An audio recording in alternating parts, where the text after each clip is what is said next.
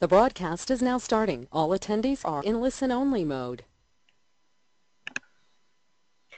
Good morning. Um, welcome to the second webinar from the series um, held by the Future Earth Transformations Knowledge Action Network.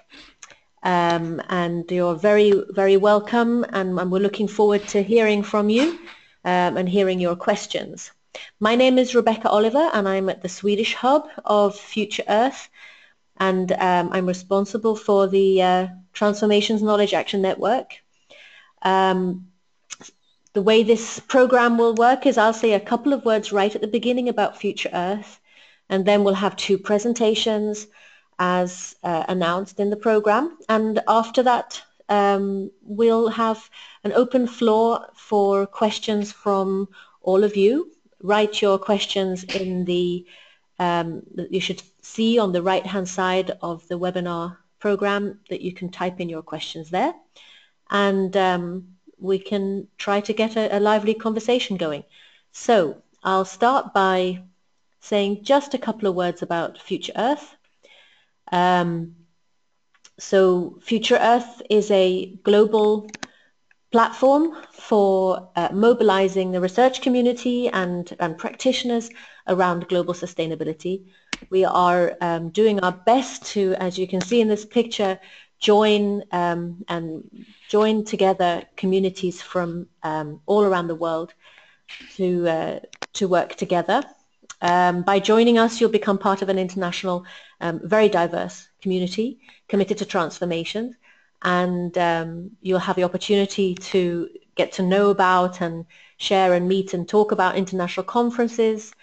Um, our aim is to stimulate co-designed um, research, co-designed between different uh, sectors um, and um, we have a, uh, a, route into international policy processes and a strong uh, media and communications uh, um, and capacity building functions which um, our aim is to make these available to the community.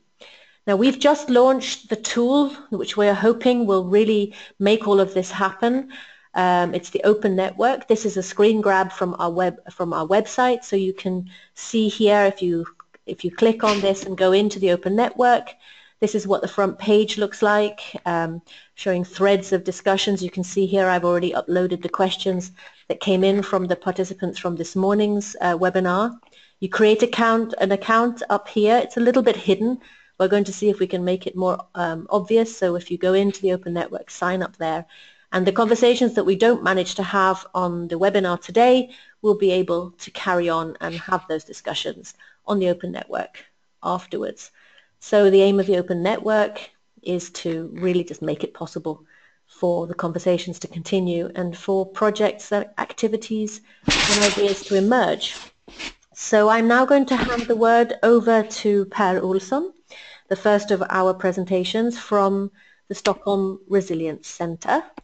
And Per will be followed by Albert Norström, who is uh, managing one of the Future Earth um, core, global core projects. And he'll tell us a bit more about that. So Per, yes, I'll stop Hello. there and um, hand the word to you. Thank you, Rebecca. So I'm Per Olsson at Stockholm Resilience Center. I'm a researcher uh, there and also a, uh, a, leader for the stream on on transformations in social ecological systems. So hi everyone, it's uh, nice to see you there uh, in the list of attendees. Um, uh, I uh, want to start talking a little bit about generally what we're looking at when it comes to transformations uh, uh, at the center. So, uh, and then Albert will talk more specifically about one of the projects that we're that we're doing. So, I'm going to start and just saying that um, I like to talk about that we study um, these transformations to sustainability through the lens of resilient thinking and social ecological systems perspective. And there's, there's several lenses through which you can, you can uh, study transformations to sustainability. Um, and these are all complementary and all relevant for understanding these processes. And I just want to say that that we use this specific lens, but lens, but uh, I want to avoid that discussion on what's the right framework and what's the right uh, theories to use. I think we're complementary. Um, and uh, uh so what do we mean by, by transformations uh, to sustainability from our perspective?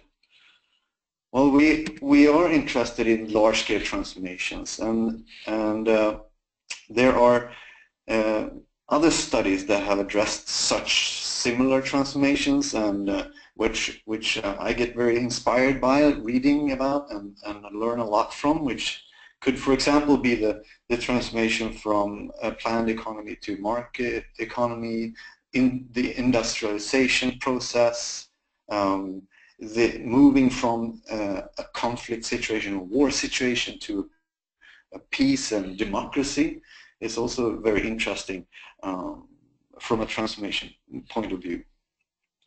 And our background is also in, in uh, systems thinking and complexity, and we're interested in how different initiatives and solutions are contributing to this whole system change, like in this case, the food system. system. And when you look at that, you know, it's like, where do you start and how can you even start changing something like that?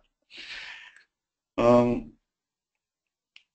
a key aspect in our research is uh, the focus on social ecological systems and we use a, a, a, human in nature perspective where we view humans as ultimately dependent on healthy uh, ecosystems. And we a lot of a lot of the transformation processes that are ongoing in the world. For example, the Green Revolution Africa, low carbon development and, and farming the sea are all with good intention to provide food and energy and other things, but they may have negative effects on both the planet, people and planet. So uh, this perspective on, on uh, how do we um, how do we achieve uh, these kind of changes at the same time as we take good care of our planet is a key aspect of our research. And we need these kind of thinking about how to navigate this space that some people refer to as the safe and just space. And I think the planetary boundaries and the and the the Oxfam donut that you see in the picture here can help us do that. It helps us think about how we navigate these transformative processes so they we don't end up uh, crossing either planetary boundaries or social boundaries. And this picture is from uh, Leach et al. Leach et al. At, uh, from the World Social Science Report.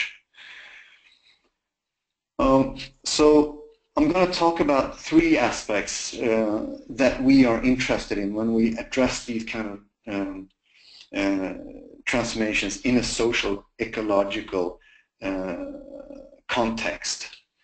And I will. I also want to, I think, push some of the transformations to sustainability community and this new field that is emerging. That sometimes these these uh, transformations or or the definition of transformation to sustainability says that it's about societal transformation to deal with environmental change. But I think that it misses the social eco ecological linkages a bit because um, large-scale societal transformations in, in the context of environmental change won't automatically help us embark on sustainability uh, trajectories if the if those transformations does not improve people-planet relationships. So that's the that's the sort of where where we come from when we address these things. And one of the challenges I feel like is is how do we how do we increase people's well-being at the same time as we we uh, increase the capacity of ecosystems to generate services that we are ultimately depending on. And I think we have been pretty good historically at, at at improving people's lives uh, in many parts of the world, but at the expense of uh, of of uh, the planet. And uh, the more, the closer we get to the planet's different tipping points, uh, the more important it is to do both at the same time. So I'm going to talk a little bit about first about transformations. I'm going to talk about three things, transformations, innovation, scaling, and, and agency. Uh, and when it comes to uh, transformations, we use resilience thinking and panarchy theory, theory, but there's also other theories and frameworks that we draw on, and including pathways that approach the, the transition management, uh, you have um, social innovation, social movements, um, and, uh, and um, others that we use in combination with the resilience thinking. I think they have a couple of things in common, and they address cross-scale interactions, for example, and multiple scales, multiple phases of transformations, uh, trajectories, uh, and so on. So there is a, they have a lot in common, and we do collaborate uh, a lot with people from, for example, STEPS and Center and in the UK and, and Drift in the Netherlands and, and um, uh, Social Innovation uh, and Resilience Institute in Waterloo. Canada. So one thing uh, that we use uh, when we talk about transformation is the cup and ball metaphor. So there's we can say talk about two different systems represented by the two basins in this figure. Uh, and it might be hard to move from one to the other. And here it's represented by the you know the the ball getting pushed uh, and um, there are self, there might be self-reinforcing feedbacks that keeps you in a certain state. There is, uh, people talk about inertia and barriers and traps and lock-ins that makes it hard to move from one uh, basin to the other. Uh, so there might be, as we show here, thresholds in between them. Um, but there are also uh, leverage points and tipping points, and you might have moments in time when large-scale changes are possible after a long period of rigidity, uh, and that provides a window of opportunity to change. So although each uh, transformation is context specific, we think that there are some general patterns such as multiple phases, um, uh, where in this picture you see that beneath that uh, figure there there is um, uh, uh, three phases, preparing the system for change, navigating the, the transition and stabilizing. Um, preparing the system is uh, is about this sort of unlocking and and, and maybe reducing the resilience of the undesired state. And uh, and navigating is when you have a window of opportunity and you have the opportunity to move and you need to navigate that threshold and then and then in the last phase you need to stabilize and, and build resilience of that new uh, basin.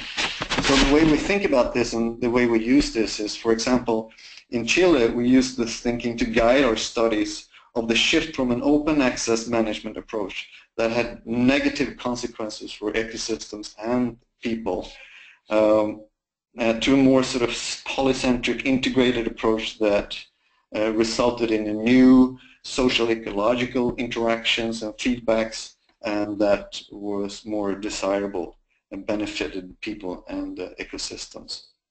So in this case you can see the the um, the sort of reaction to the system that didn't work resulted in, in a lot of, in a couple, not many, but three experimentation places in, in Chile along the coast. And and it uh, and it was part of this preparation phase where they start to uh, experiment with new social ecological configuration and these were this was made by uh, together with scientists and, and fishermen and trying to come up with a new approach uh, than than the one that was so destructive. And then it started to link people together and building maybe what you call uh, from a management transition management theory a, niche or the proto regime uh, they start to generate new knowledge. And then uh, in uh, at the late in the late 80s, after uh, after the Pinochet regime, the new government was interested in, in creating a new fishery policy, and uh, and uh, the knowledge that was generated in the experiments were navigated into that process, and and then the, the knowledge was uh, negotiated and, and incorporated in the new uh, policy, and that was part of what we call the navigation phase.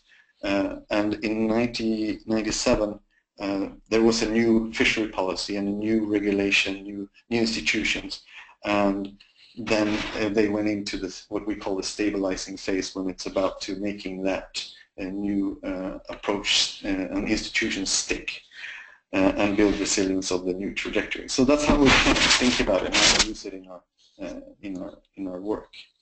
So then I want to talk about innovation and scaling, and when it comes to innovation, uh, there's a lot of talk now about like we need more and more innovation, but it's not like we haven't been uh, innovative before, and it's actually the the uh, our great innov innovation capacity that have put us in this precarious situation globally uh, through the great acceleration and into what some people refer then to as the Anthropocene. But so but we need to be smarter on how we innovate. And there are lots of good things out there, but we have a concern that um, that the, the sort of the technological and social innovation that are uh, that are pushed now in the name of sustainability aren't really improving or changing the human environmental interactions. So we really need to um, ways of, of addressing that and, and deal with that. And one of the problem with the with another problem maybe with the with the with the um, uh, innovation that are pushed today is, is is illustrated by this figure, which is a a, a bed for for homeless uh, people and li people living on the street. It's an innovation that you can say improve the life uh, for the people living on the street, but it doesn't really uh, change the systemic problem of, of having homeless people. So I think uh, we need um, think more about how uh, innovations can have a systemic impact. So that's why we developed this social ecological innovations uh, concept um, that uh, that builds actually on on this uh, social innovation definition that uh, Frances Westley and others have developed in, in at the University of Waterloo. Because I think this is uh, capture the essence of what we need uh, which is a view uh, that says that we need to change the systems dynamics that created the problem in the first place. And then uh, so the definition there uh, where we put in social ecological systems instead of just social systems. Um, is really um, a way of uh, addressing how can an innovation have systemic impacts. And it's uh, how can innovation be disruptive? And uh, how can innovation challenge and, and change the roles and routines, the power structures, the groups and how how people on uh, LinkedIn networks, etc. How does it change or challenge the resource flows, the meaning and values, and and that's what we mean of of an innovation having a um, um, systemic impact. But what we add to that then, and that was really specific and that we try to push from our side, is it's also about a fundamentally changing human environmental interactions and how these innovations that are pushed are doing that or not. And in the end, it's about innovation that can enhance the capacity of Earth ecosystems to generate essential services. Um, so, um, so we are uh, we are interested in in, um, in looking at examples of this, and and uh, and uh, uh Albert will talk more about this in a in in a bit. So, um, so there's one thing about like identifying, analyzing these good examples around the world, and this is uh, an example called Blue Blue Ventures in in Madagascar that that uh, um, use new business models to uh, help local people and um, uh, have livelihoods that benefit both people and the ecosystems. Um, but another issue then that we're dealing a lot with is scaling, and uh, uh, which is also um, a, a huge challenge uh, when it comes to uh, achieving uh, sustainability. So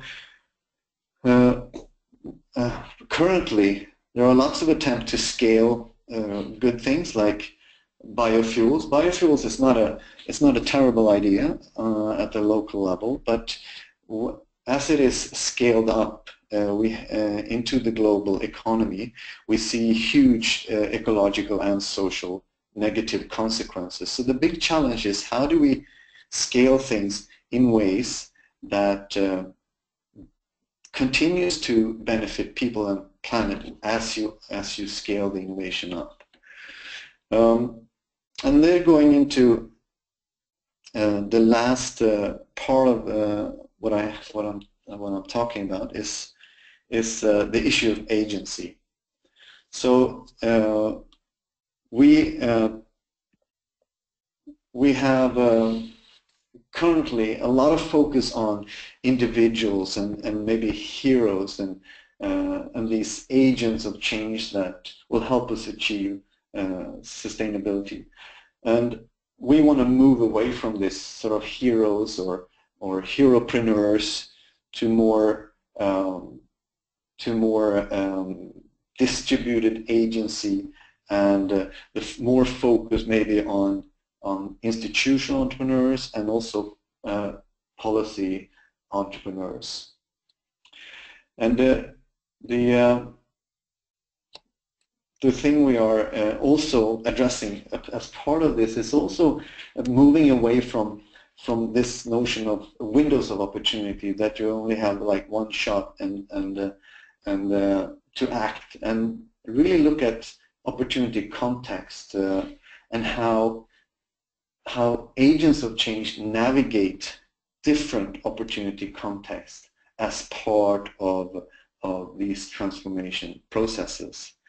So that's also a, a, big part of our research. And just to show you how we apply this kind of thinking that I've been talking about, the transformation, the, the innovation, scaling, and agency in one case, I just want to show you one, uh, one example um, uh, from our research. And this is an example from uh, the Coral Triangle Initiative in Southeast Asia and Western Pacific, where six countries have gone together and, uh, and uh, uh, created um, uh, a governance regime uh, for managing a very large-scale area. The six countries, uh, uh, yeah, six countries uh, that has been part of this multilateral process of regime formation to to improve ecosystem management. So what we are interested in here is is how what was the sequence of events that led up to to uh, this new governance structure. And we we're interested in what what is the idea, what is the innovation. In this case, it was ecosystem-based management, an idea that has um, been developed in and tested at the local level, but also in bilateral uh, context, and how this uh, idea was carried by uh, change makers and, and uh, these kind of institutional entrepreneurs in order to gain momentum uh, to, uh, to create the new governance structure. So what we, what we look at here is sort of the scale spanning activities of these institutional entrepreneurs moving between the national, regional, and global scales. But also we, see, we look at how they move this idea through different phases. So I just want to show you that as an example of how we how we how we work uh, and how we uh, apply this thinking to our uh, research. So I'm uh, I'm going to stop there and uh, leave it to Albert.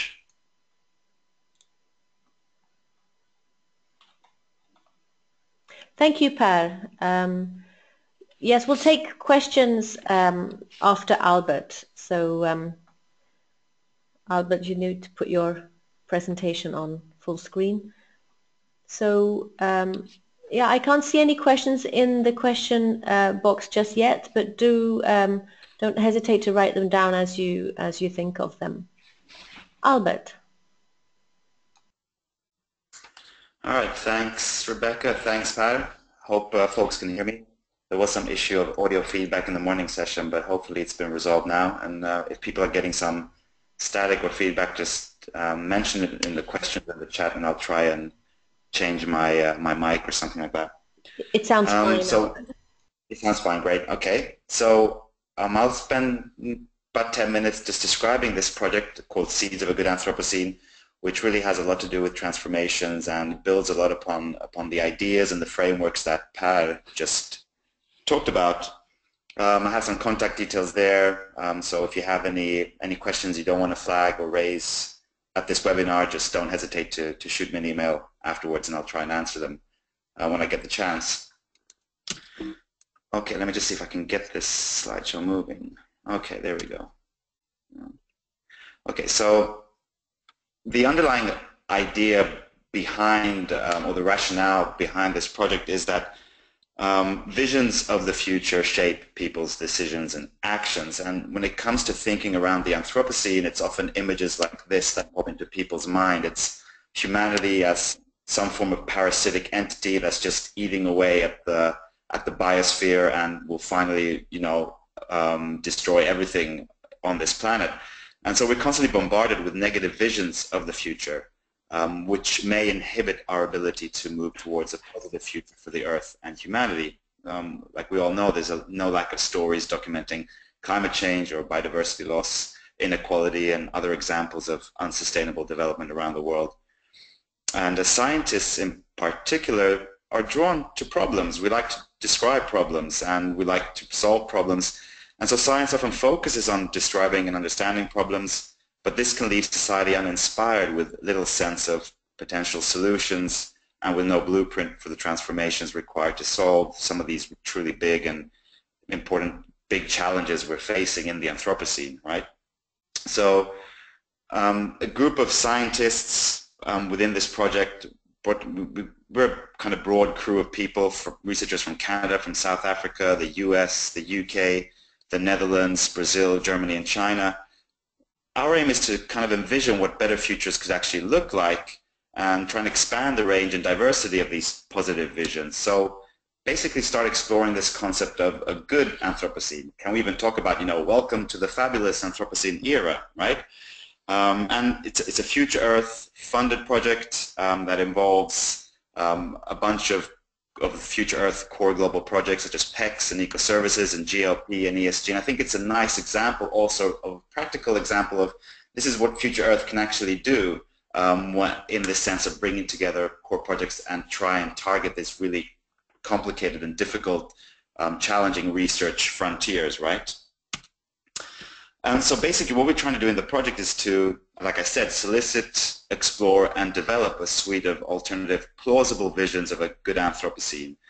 Um, and we're trying to do this by identifying and analyzing bright spots um, or seeds, real space, real places on the world that demonstrate one or more elements of a positive future that might serve as seeds of a good Anthropocene.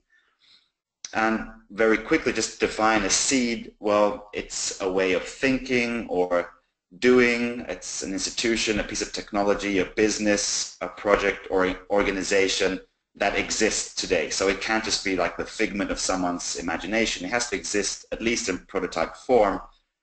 And it has to be marginal. We're interested not in the kind of first horizon or the dominant things happening, even though there's a lot of promising dominant technologies and organizations out there. We're interested in the ones that are still a bit in the margins, okay? And these things, these seeds, need to be contributing to creating a sustainable future, at least according to someone. And so I'll give some examples of seeds that we've been collecting and that exist in our database.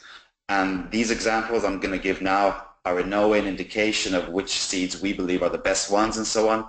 They're just there for me to highlight the diversity of things that people have been setting in and that we've been collecting.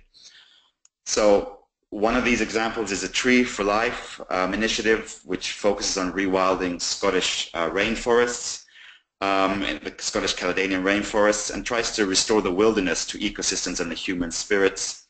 And doing this requires this initiative to work in changing how people view what is natural and possible in Scottish nature. And so the project works extensively with volunteers to uh, combine landscape transformation with education. And so basically what they're doing is planting trees, educating people, restoring ecosystems, reintroducing predators, and trying to kind of, in essence, reconnect people back to nature. Another seed indicative of quite a lot of these seeds we've been collecting is this one, which really differs to the previous one. This is the Songdo Smart City. It's a newly built smart city in near Seoul in South Korea. And um, this place was planned to be a place to attract a bunch of corporate headquarters and, um, you know, attract a lot of businesses and international big corporations um, with this very green rebuilt area on reallocated land next to the airport. The strange thing with this initiative is that it didn't really succeed in attracting a lot of these businesses. Instead, a lot of Korean families saw this as a really nice place to move into and live in because of the green infrastructure and the huge effort made when designing this space and creating green spaces and um, sustainable thinking in the design of the buildings. So instead of attracting businesses, a lot of families moved in there. And it's actually now transforming into quite a vibrant and good example of new ways of designing urban areas in ways that are both social and ecological sustainable. So it has an interesting story to it.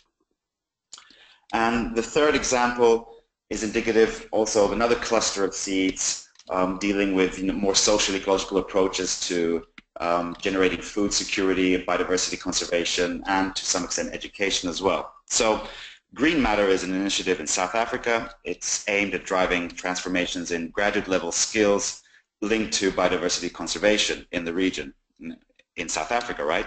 So the background to this seed is that in 2010, the South African Governance Economic Cluster convened the first Green Economy Summit with the aim to map out a green growth pathway that you know both creates jobs while reducing pollution and uses South Africa's natural resources wisely.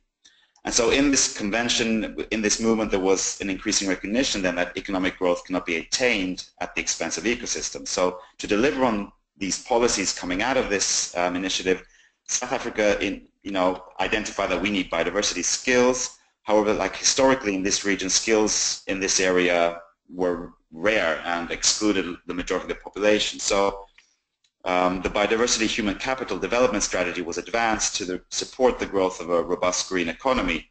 And within this policy, you had things like Green Matter popping up, which is a project that engages different sectors that tries to bring together networks or organizations, peoples, and institutions that try to implement solutions that address both challenges around you know, biodiversity, economic growth, and food security. So it's kind of a knowledge exchange organization in South Africa.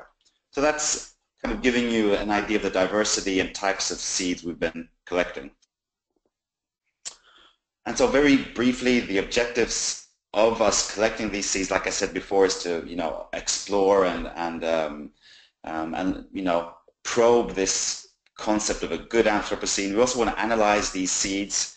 Um, data that we're collecting on each seed includes things like its location, the pathway of impact, its global relevance, what are some of the challenges it's addressing, what are some of the enhancing factors and the actors involved, how many people are involved, what's the current state of the seed, so we're trying to analyze the seeds and also look at the values and assumptions underlying these seeds and so on.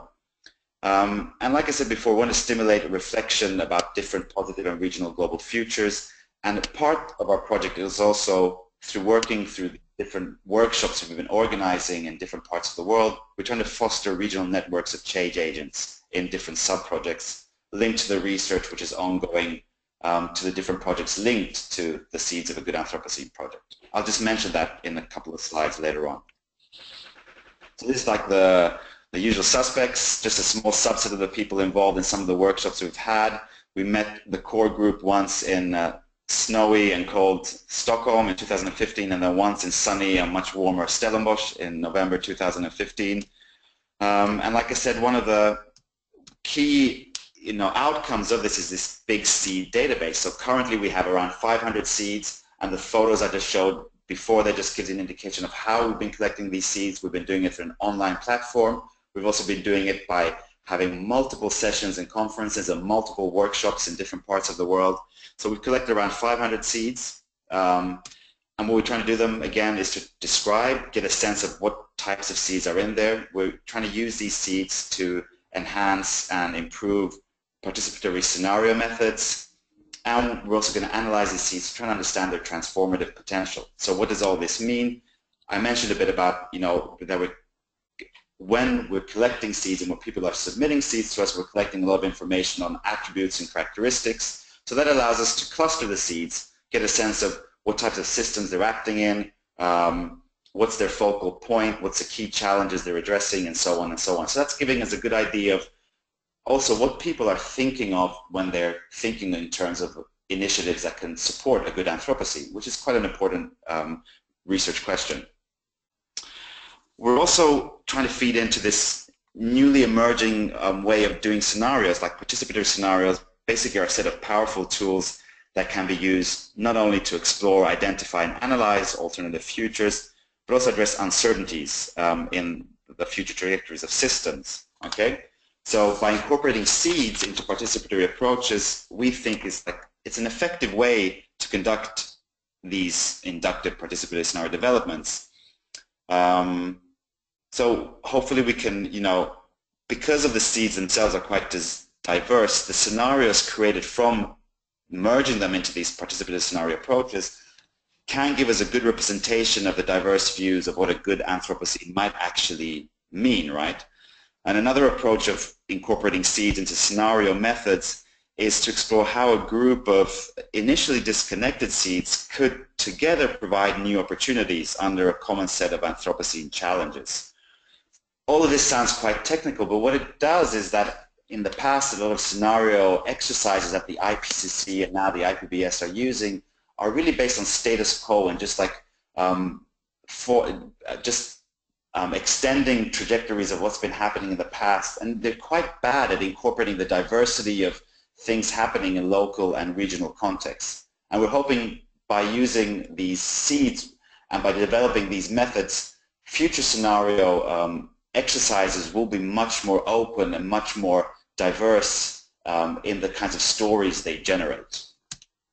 And finally, the kind of third major um, fork of how we're kind of using the seeds is we're having a bunch of postdocs here at the Stockholm Resilience Center now that will be looking by applying the frameworks that Pat has been talking about, trying to understand what the transformative potential of these seeds could be, how some of these seeds can grow, what's the potential of some of these seeds to scale up and be replicated, how some of these seeds can change values across different places around the world and so on. So that's going to be an interesting exercise in getting a sense of how transformative can these seeds actually be.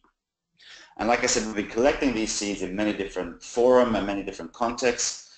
Um, one way of making them more accessible to the public is we've generated this online web um, website where um, collecting and writing about these seeds a bit more in detail. So the whole database includes 500 seeds. The online website has 120 of them in a nice short blog form so you can just surf it and read up on some of these seeds and get inspired.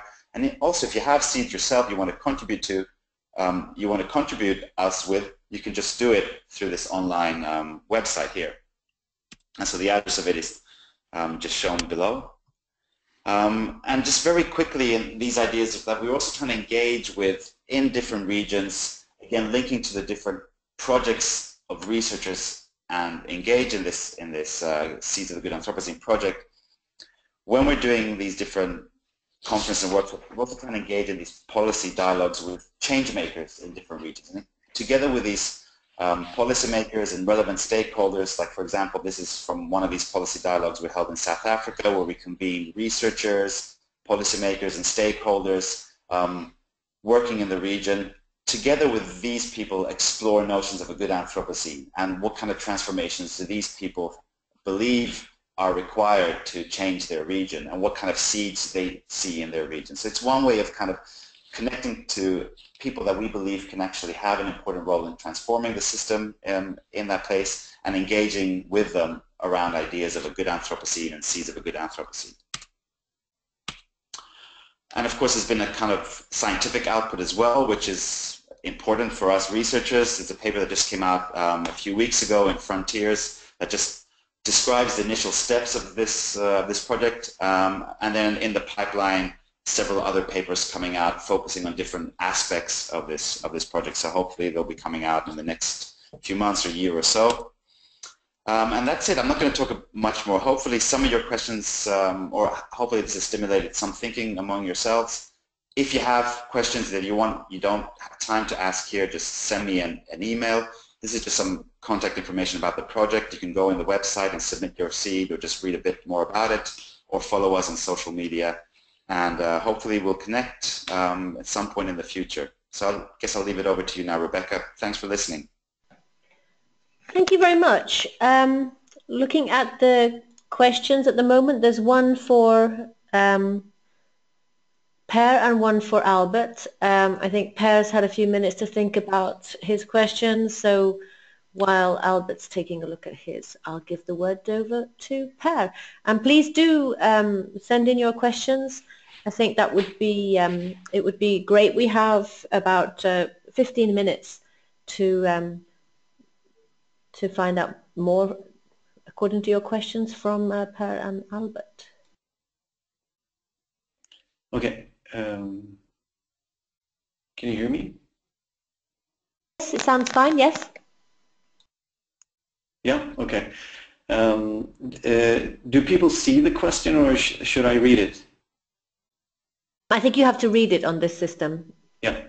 So Susie Moser, thank you very much for your question. It says the change process is described does not really look like a transformative change to me, just more like adjusting existing systems, not fundamentally change them. Maybe I missed that, but can you articulate how the case you described last is a true transformation? What is a transformation? I guess the broader question for me that emerges is how to how do we guard against an inf inflationary use of the idea of transformation um, is every uh, every getting off the couch a transformation? Just to be provocative. Yes, thank you, thank you so much. Um, um, uh, good, good question. And and uh, the last case there with the with the Coral Triangle Initiative is not a uh, true transformation. And uh, I'm sorry I didn't uh, make that clear. But uh, actually, it's a way where we just look at ha how an idea um, goes from being uh, sort of, or how it's used to build a new uh, governance regime. And, uh, and the idea there was the ecosystem-based management. So what we're doing is we're trying to apply our social ecological um, uh, innovation framework and, and uh, uh, our ideas around scaling to to see how how that um, how that idea is is uh, scaled up. So it's not and it and it isn't a transformation, but it's interesting that uh, that you asked that question because it's those international uh, international agreements and institutions are of course uh, important could be important for transformations at other level, at national and local level. So we we have looked a little bit uh, uh, on that is is how um, how that affects uh, processes on on the ground, and um, I think I agree with you that in general that a lot of things is called a transformation, which is not really. For us, when we look at transformative processes, really, we're really trying to develop this feedback mapping approach where we try to uh, to look at how is the social and ecological components uh, linked differently uh, uh in a change process because the definition we use for transformation is a fundamental shift in social ecological feedback. So we try to uh, develop methods for that um, and um, to look at these kind of before and after uh, things. So I think I'll stop there. Thank you. I'll um, I'll give the word to, to Albert. Um, you were asked um, when you're collecting seeds, are you basically collecting what other um, other volunteers send you, or are you actively seeking them?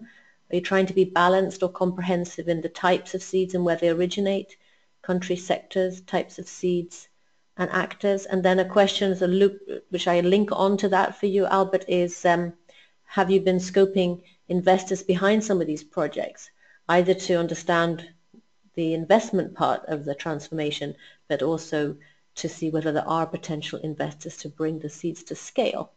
Albert. Yeah, thanks for repeating that, Rebecca. The, the funny thing is I can't really see the questions, so it's good that you, someone has to read the questions out to me.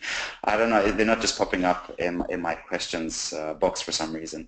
But um, so I guess the question is how we've been collecting them, if we've been actually seeking out the, the seeds it's been it's been very organic actually. Um, I mean, we've been doing it also on running on like you know we don't have a huge machinery and a huge logistical enterprise behind us. We're just a network of researchers. So the, the initial steps is to we we began is by collecting seeds within our, our research networks around ourselves and then slowly our search net just got broader and broader and we began collecting seeds in conferences and workshops within our specific projects. So for example, an example is one of the PECS projects is linked with um, fishermen and uh, fisher people in, in, um, in, in, Eastern Africa. And so when researchers within that project were running workshops for different reasons, we just piggybacked on that and started collecting seeds with the local stakeholders there. So that's how we've been doing this. We've been trying to just piggyback as much as we can in conferences and workshops and then through the establishment of this, the website, this web portal, um, we're hoping to cast the web or our net even further out and start collecting seeds from, from the general public and just people out there.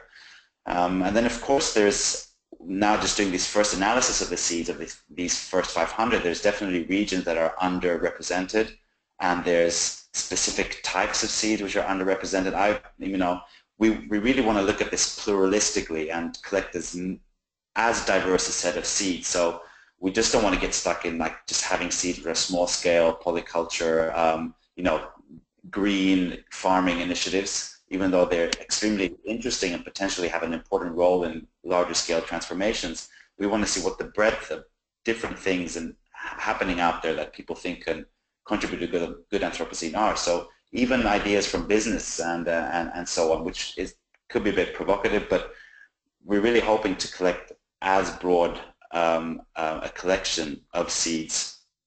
And hope this is an, an evolving project and as we get more people involved, we're getting more and more interest, get a bit of funding tacked on. Hopefully we can do this in a more coherent and, and strategic way, but at the time being we're just trying to expand as much as our own schedules and logistical capacities allow for, given that we're just a research network. Um, and I didn't really get the, the, the third part of the question, um, Rebecca, with the investment. Maybe just just repeat that, and I can see if I can answer it in a in a good what, way now. Or I can right. What I what I've tried to do now is to um, throw up the questions so that everybody can see them. So Albert, you should be able to see some more questions that have come in.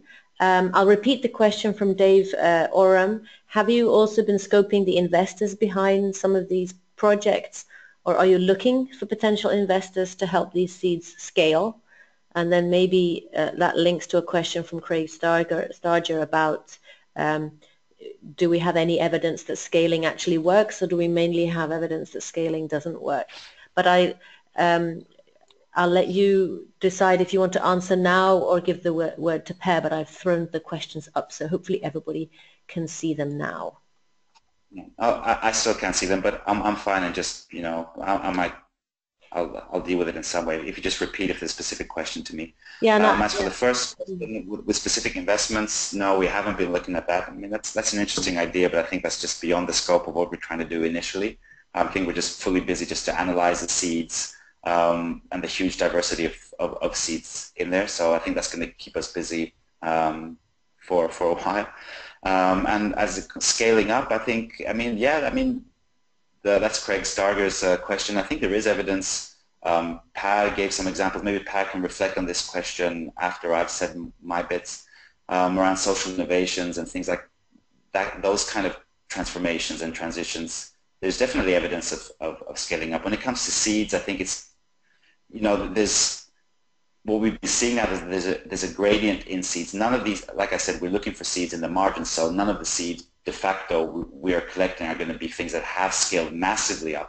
But you do see that some of these seeds have been replicated. Like for example, the transition networks, it's, definitely not a major player. I mean, from transition towns don't get invited to the G8 forum or things like that. But if you look at then the seeds we've been collecting, they're actually an initiative that has been replicated. It's been spread to a few hundred places around the world, at least very successfully, um, and maybe even more um, in, in a kind of prototype form. And so you get the sense that potentially this is a seed that will have some kind of transformative capacity in the sense of really being scaled up to become something major. We don't know, but it's that diversity is allowing us to start looking at those elements, start um, quizzing the different seeds with regards to their scalability. But maybe Per, you can reflect. I mean, I think there is within different you know, streams of research dealing with transition and transformations, definitely examples of things being scaled up, especially if you go back and some of these more historical analysis of things and transitions happening in the past, I think you can actually look at examples from, from that. Per? Thank you. Uh, uh, so am I on? Yes. My mic is on? Yep.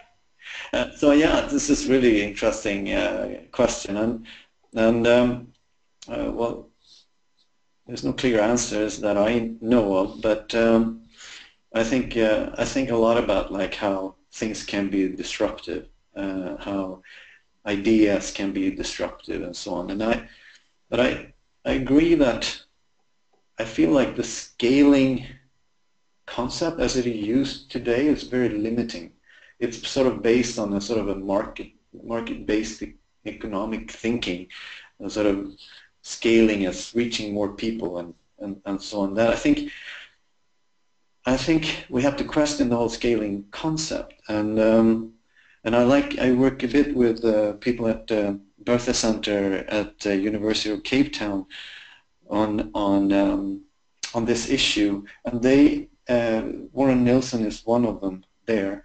And uh, so one of the things that he studies is, is uh, relationships between people and how that um, is the sort of the key to change. And, and uh, we, I mentioned before that we're interested in, in sort of how things uh, change roles and routines, power, relationship, groups and networks, resource flows, and meaning and values. And that's what's happening often in these little, the experiments or the seeds that I've talked about is that, that new relationships are developing and affecting these kind of systems properties.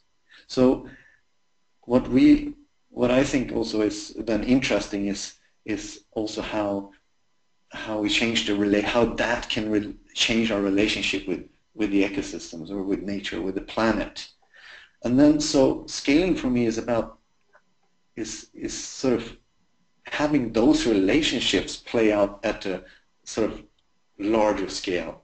So I think we need to, and that I find that there is something there that sort of really fundamentally uh, changes or or define scaling in a different way. So we're just there. I'm just there, sort of. Uh, uh, uh, picking at that at the moment and just starting. So I think that's a good one. Uh, there was something more here about uh, that Craig uh, Starger you asked there. Um, yeah, about about uh, uh, solutions and and if they would work in one solutions that work in in one place will probably not work in another place and and to try to do so has often resulted in huge waste of resources. And I think I think you're right there that, uh, and it's it's um, um, it's um, it's uncritical to the sort of the best practice idea where where you can go to one place and, and look at how things are done and then you you sort of boil that down to a list of sort of things um, uh, that you can just apply somewhere else. And uh, I don't think that's I think that is a, often a waste of time. But I think there is a lot of that horizontal learning. In, in the cases that we have looked at, there are like groups of, of uh, community members that, that has a problem that goes to a, another place where they have solved the problem and learn and then um, um, get some knowledge and insights and go back and uh, contextualize that knowledge into their uh, environment and, and to solve the problem. So I think that horizontal learning is interesting uh, aspect. Should I just should I stop there uh, or yeah no we have some, have um, we have a comment that come in that I I've you should be able to see now from Cheryl Lyon.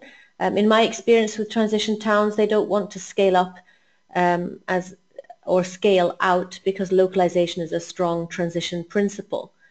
Um, every ecological social community does it in its own does it in its own way. So how does that relate to this to the idea that these transformations can spread sufficiently? I don't know. I, I presume you're, you're, talking about achieving at some point a, a tipping point that changes fundamentally the, the relationship um, and moves us away from from the unsafe space. Mm. Mm. Am I still on? Yes. Yeah. So I think I think that's a I think this raises a really interesting uh, issue, and that's does things have to like a um, um, like transition town? Is it does it have to scale up in order to make a difference? Uh, I think this is the issue. Is if if you have a lot of these localized um, uh, examples or, or seeds, uh, and no one is interested in scaling up, can they still have a, an effect on, on and create patterns at, at uh, different levels? I think that's an interesting issue. I think there is evidence for that. Um, but I feel, I feel like this is really the cutting edge of, of where the research is right now. Thank you. Well, we are um, approaching um, the end of the of the webinar time. Um, I do think that it's um, you know some good discussions and difficult discussions have uh, have got started. Um, do go on to the Future Earth website and sign up for the Open Network. Um, you can see there I've uploaded a page which has the questions that came in uh, this morning, and I'll add to that the questions that have come in today. So you'll all be able to um, to continue discussing on um, on that on those threads, and I'm hoping that um, that this has been a, a useful um, event. I also think it would be nice for us to um, uh, to hear some feedback from you. Did you find this um, helpful? Did you find it an easy system to use? Um, I'm trying to work out why Albert can't see the questions, but I hope that all the rest of you um, found out where to type in questions so that we can um, make sure that these webinars are um, also a dialogue with those of you who join up. So um, I think with that, unless there are some more questions, we've um, been very happy to have um, over 35 participants with us today and, and, and almost 50 this morning. So um, thank you very much and do look out for for more invitations to webinars. This is, as I said, one, um, one of, in a series. Um, and you can, if you sign up for the Open Network, you'll get the announcements and invitations through the Open Network. And if you don't sign, sign up, then I will send you these invitations by email. So um, we look forward to you joining us again and joining the Future Earth um, Open Network and the Transformations Knowledge Action Network. Thank you, everybody. Thank you very much to uh, Per and to Albert. And um, good evening from Stockholm and good morning or good afternoon wherever you are. Bye-bye.